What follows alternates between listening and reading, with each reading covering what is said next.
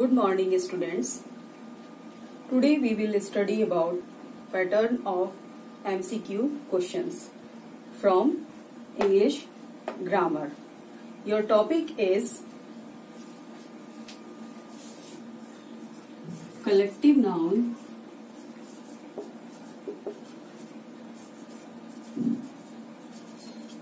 and pronouns.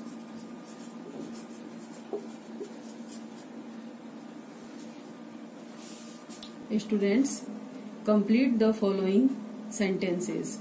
Question 1. The girls dash eating ice creams. Options are is, ours, are, yours. Question 2. The children dash playing on the beach. Options are are, is, his, hers. Question 3. She owns a chocolate. It is dash. Options are his, ours, hers, theirs. Question 4. My name is Madan. What is dash?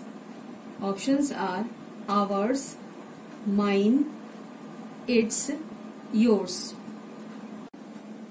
Question 5. A group of sheep is called a dash. Options are pack, range, shoal, flock. Question 6. A group of soldiers is called a dash. Options are bunch, army, swarm, pack.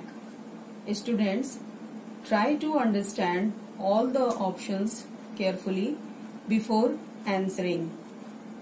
Students, all of you revise your all grammar portion that we have studied.